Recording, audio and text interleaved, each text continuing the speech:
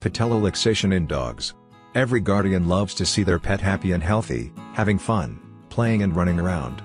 So when we notice that there is something wrong with the health of our four-legged child, it is common to be concerned. Among the most common problems among puppies is patella luxation. The name is a bit complicated, but the problem is quite simple to understand. Patella luxation is the dislocation of a bone in the knee, also called the patella. This is why the pet looks so uncomfortable when it is diagnosed with patellar luxation.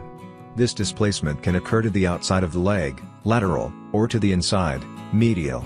Both cases can cause pain to the dog and predispose to other complications, and need veterinary attention as soon as possible. Patella luxation in dogs can have different origins.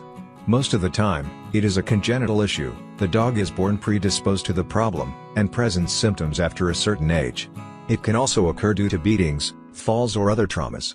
It is more common in small-sized dogs, but can affect any pet.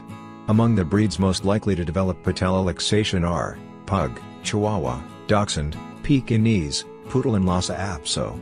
It is worth mentioning that larger dogs can also have the disease, especially when they are older and more fragile. Patella luxation in dogs is classified into four different degrees.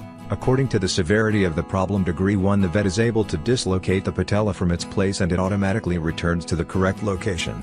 Usually, the problem ends there, without further pain for the dog. Grade 2 in this case, the patella keeps coming out and going back to the correct place. Usually, the dog has a frequent limp. Although the patella returns to its place, surgery is recommended to avoid pain and further problems.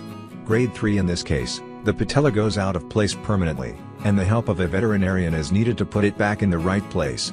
Sometimes the dog also tries to align the patella, making movements with the paw. Grade 4 More severe dislocation, in grade 4 the patella is permanently displaced and not even with the manipulation of the veterinarian it is possible to put it back in the correct place. Only with patella surgery in dogs is it possible to alleviate the problem. The treatment may vary according to the degree of dislocation, ranging from painkillers to surgery and physiotherapy. Anyway, the accompaniment of a reliable professional is always necessary. After all, we all want to see our pets healthy and happy, playing and having fun.